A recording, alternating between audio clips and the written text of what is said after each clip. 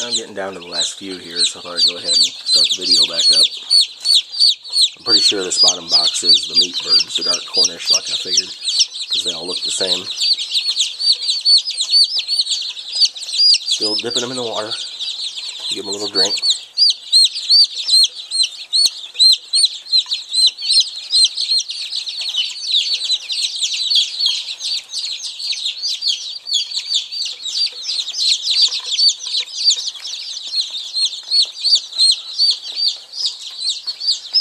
I already had a couple hop up on this little concrete barrier here, which surprised me. I didn't think they'd be jumping that high yet, so I may have to put something along it. I'm a little concerned they'll jump over it and then not be able to get back to the heat.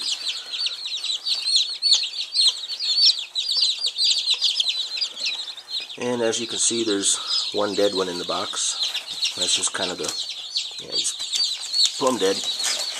That's just kind of the nature of the business. When you get them through the mail, you usually lose at least one. It's actually pretty good to only lose one out of this many out of 80. And usually they send along a couple extras just for that reason. So I didn't count, but I probably still have 80. And they seem to be taking to it pretty well.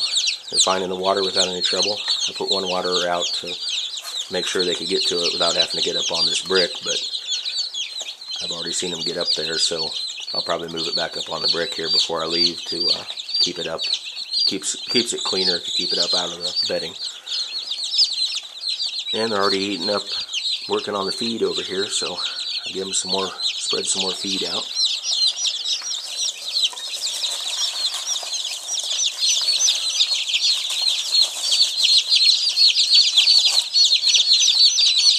Last year, the first few nights were pretty cold, so it's kind of nice that this year it's warmer.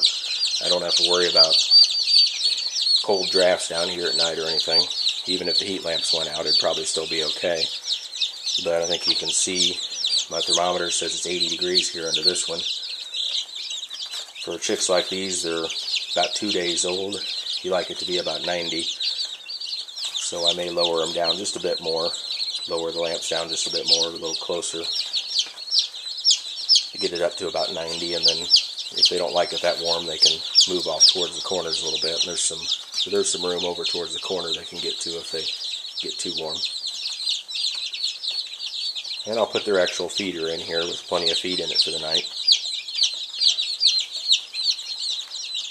And I'm sure I'll come down and check on them a few times through the night too, just to make sure they're doing okay, not getting too hot or cold. In case you wondered, my bed is my bedroom is directly above them, so I will be able to hear them if they're having any trouble or being attacked by cats or anything. But they should be pretty secure in here.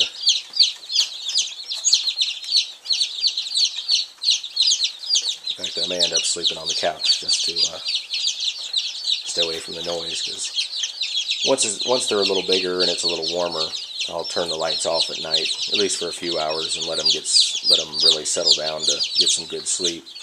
Is with the lights on, they kind of just they sleep a little bit, but they kind of keep moving all night and keep eating. That's all right at first, but after a while, you want them to kind of learn to go with the day and night. So I'm still not sure who's who here.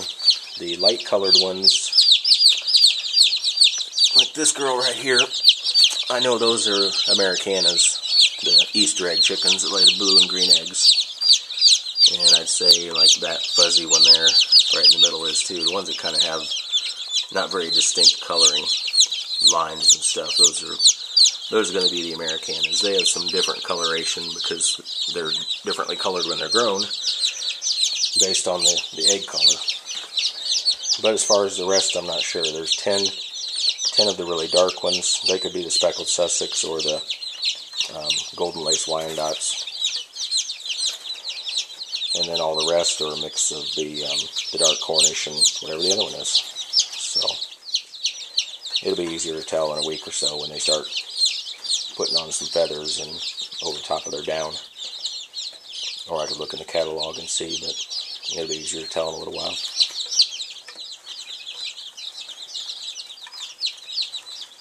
Well, they seem to be pretty happy here.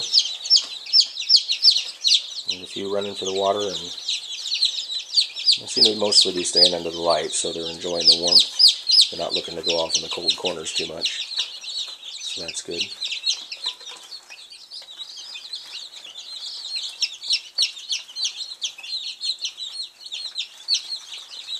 And they're not quite as noisy as they were at first either. They'll, they'll settle down a little after they've gotten used to things, gotten a belly full.